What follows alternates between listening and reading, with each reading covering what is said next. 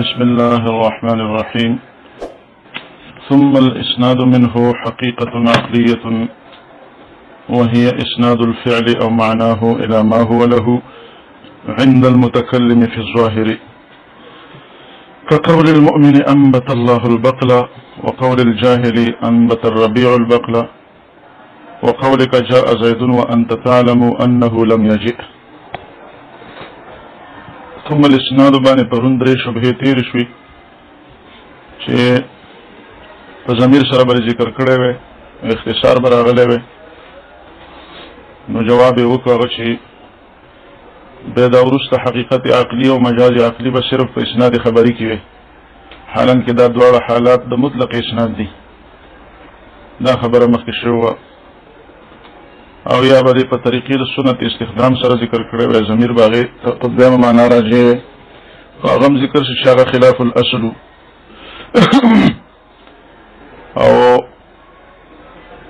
بله طریقه هم څه ذکر کړې وه لکه معرفه چې معاشي ثانیا ثاني غیر ثاني عین اولاوي نو دغه سوال خو به موارد دی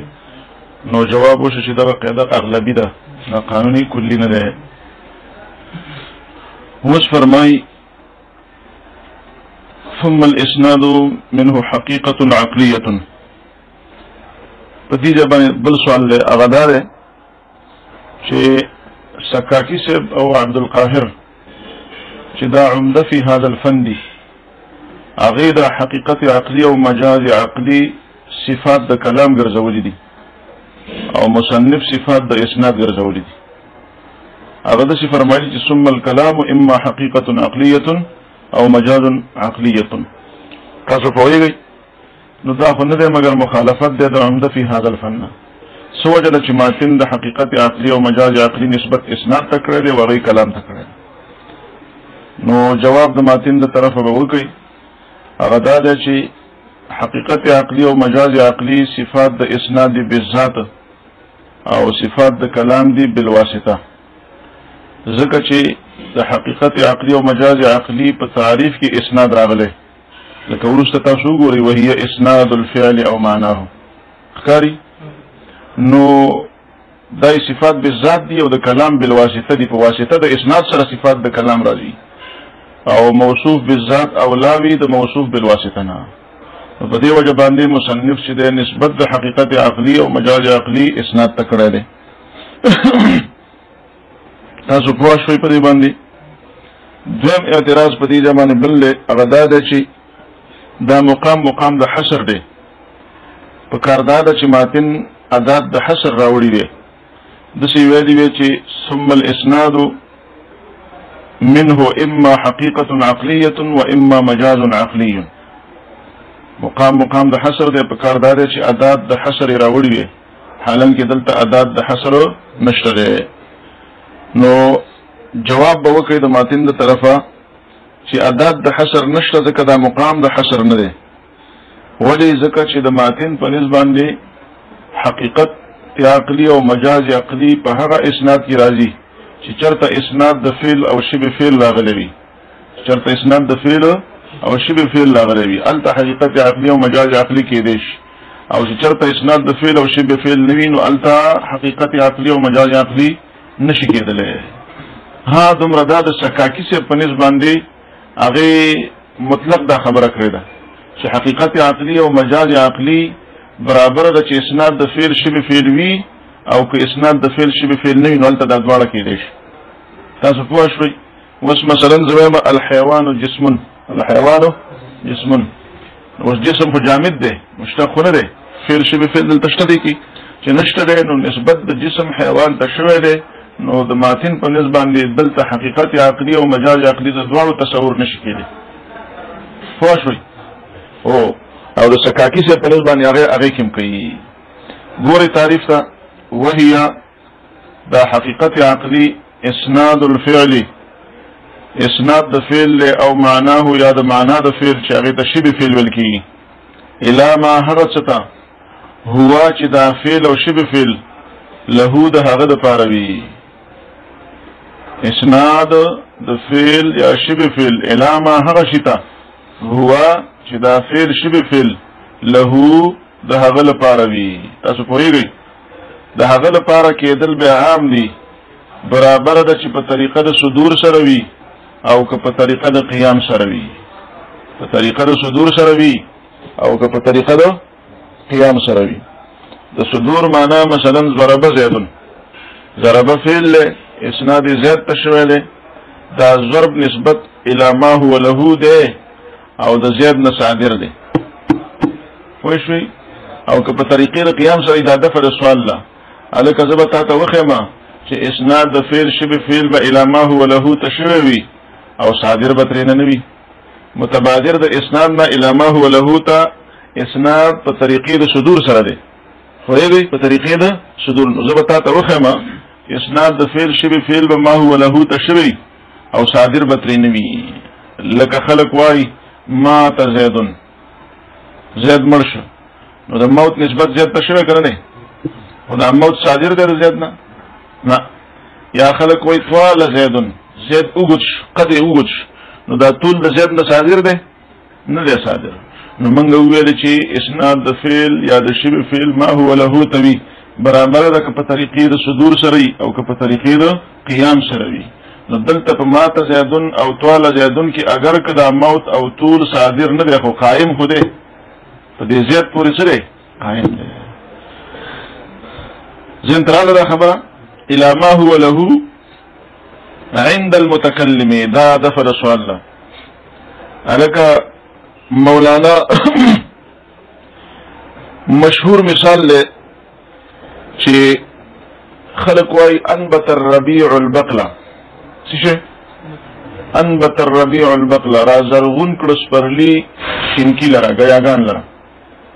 نو نسبت د انبات ربيع ته دا ما هو له ده نه ده انبات خو څوک کوي الله یې کوي حالان کې خلق دا په مثال لچا کې پیش کوي د حقیقت عقلی کې پیش کوي نو جواب کوي ماتن چې عند المتکلم په نزد متکلم مثلا یو دهری سړی دا وایي دهری چې دا خو نسبت زمانه ته کوي دهری وای انبت الربيع البقل نو دا هغه په نسبت باندې دا هغه په عقیده کې دا حقیقت عقلی دی نظر حقیقت عقلیه دی ځکه فاعل د انبات چې دا هغه په نسبت باندې دهر دی یعنی دا ربيع دی وهذا نو عند المتكلم یو په دې سره دغه مثال د حقیقت نه ونويستو دا انبت الربيع البقل چې دهری وای نو دا د حقیقت عقلی مثال جوړیږي ځکه په نس د متکلم د عقیده د متکلم سره خدا موافق ده کنه فی الظاهر په ظاهر حال د متکلم کې فی الظاهر په ظاهر حال د چا کې د متکلم کې دام د فر سوال لا یو معتزلی د اهل سنت مدرسې ترش معتزله خلک چې دی هغه دسی وي د اهل سنت عقیده دا ده چې خالق د افعال د عبادو که خیر دی که شر دی دا څوک دی الله دی خو کاسب څوک دی بنده دی خالق الله دی او کاسب بنده دی هغه وایي چې نه خالق د افعال د عبادو په خپل د عباد دي معتزله خلکو عقیده دا د شرع قائل کې براشي تاسو ته چې خالق د افعال د عبادو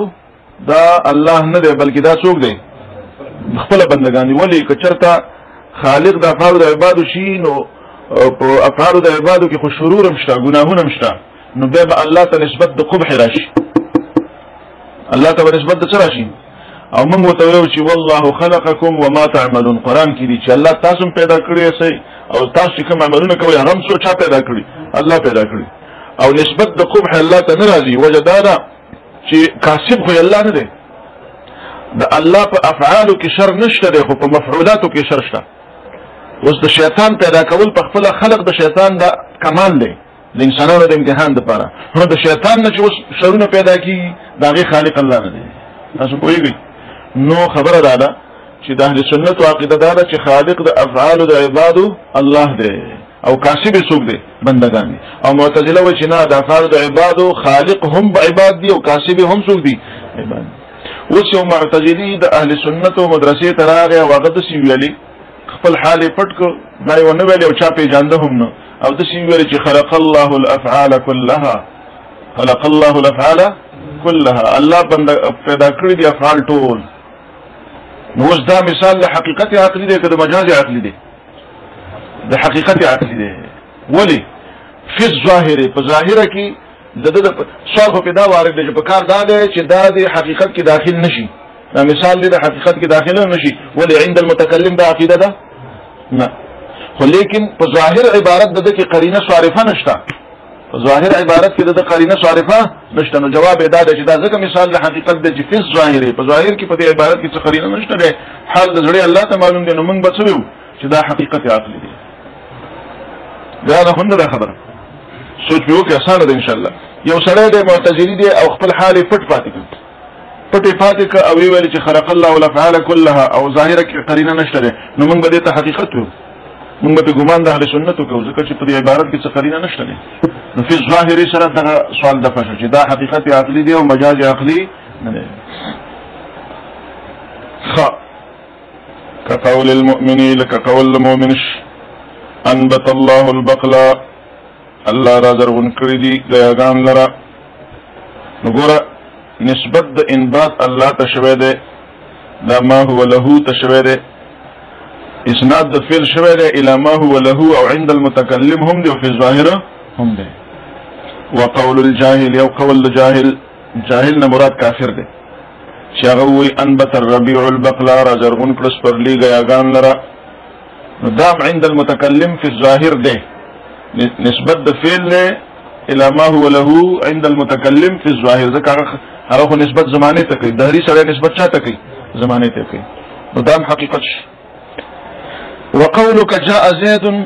او ستا دا قول چې زید راغی او انت تعلم او ته پوهیږي انه لم یجئ چې دا نه دی راغلی تا ته یقینا دا پته ده چې هغه نه دی راغلی او تو وی چې جاء زید نو دا نسبت د ما هو له ده نسبت د څه ده ما نسبت د فعل شبه فعل ما هو له ته ده او فی الظاهر ده ځکه قرینه صارفه خو نشته ده نو دا هم په چا کې داخليږي په حقیقت کې داخلي وایي په خبره یعنی ټول اقوال کاذبه دا په دې کې داخليږي پوه شوي تاسو نو ذکر دا خبره د مقام کې چې د حقیقت عقلی لپاره څلور صورتونه شو دا خبره اوس مهمه ده حقیقت عقلی لپاره څلور صورتونه شو اول صورت دا ده چې د واقعي سره هم مطابق وي او د متکلم د عقیده سره هم مطابق وي لکه مؤمن وي انبت الله البقله دا د واقع سره هم مطابق دی او د متکلم د عقیده سره هم مطابق دی دویم صورت دا دی چې د واقع خلاف وي خو د متکلم د عقیده سره موافق وي لکه دهری وایي چې انبت الربيع البقله انبت الربيع البقله نو دا د واقع خلاف دی خو د متکلم د عقیده سره سره موافق دی دو صورت شو درم صورت دا دی چې د واقع سره موافق وي خو د عقیده د متکلم سره خلاف لکه معتزلی وي چې انبت الله ان انا خلق الله الافعال كلها خلق الله الافعال كل دا د نفس الامر سره برابر دی خو د متکلم د عقیده سره سره خلاف دی زه خو په ظاهر د حقیقت کې داخل او څلورم صورت هغه دا دی چې نه د عقیدې سره موافق وي او نه د نفس د واقع سره مطابق وي لکه ټول اقوال کاذبه لکه ټول اقوال کاذبه دا هم په څه کې داخليږي په حقیقت عقلیه کې داخليږي نو حاصل دا شو چې دارو مدار د حقیقت عقلی او د مجاز عقلی په قرینه باندې ده کچرته قرینه نه و نو دا به په حقیقت کې داخل وي او که چرته قرینه صارفه وه نو بیا به په چا کې داخلېږي په مجاز کې داخلېږي تاسو پوه شئ سوال په وارد دی چې لکه مولانا مصنف درې مثال راوړي دي او څلورم یې نه ذکر کړي چې معتزلي وایي چې خلق الله الافعال كلها دا خو دلته نه راوړي دلته درې ذکر کړي دي او څلورم یې نه ذکر کړي نو جواب به د ماتین د طرفه وکي چې ماتن په صدد د بیان د استیعاب د امثلو کې نه دی یعنی د داسې موارینو د اغست چې زه ټول مثالونه ذکر کوم خو درې می ذکر کړل دا یو ته په خپل معلوم کا درې می ذکر کړل او دا یو ته څو کا په خپل معلوم کا خنو دا درې ولی ذکر کړی نو د مثال د وضاحت د مسل لپاره خو یو مثال کافی ونو دا درې ولی راوړو نو جواب دا دی چې وای نقطه د پاره د فاروی د قاره نقطه د پاره د فاروی نه کار نه وي څه مطلب الکه زه وسویم طالبان په دې طالبانو کې یو طالب نه راغلی ولې نه راغلی تاسو به ویو چې یو عذر یو ځم تاسو څو طالبان استي اته طالبان خنو دا وو ولې راغلي دي نو دې راغلو تاسو خو څوک نه کوي کنه چې ولې راغلي دي نه دلیل بدانه چا لپاره وای چې نه راغلي نو مصنف هم دا درې مثالونه چې ذکر کړي دغه دا پښتنه نشي کېږي چې دا ولې ذکر کړي نو چې کوم نه ذکر کړي دا غیر لپاره عذر ولټوه تاسو پوه شئ وبالله تعالی التوفیق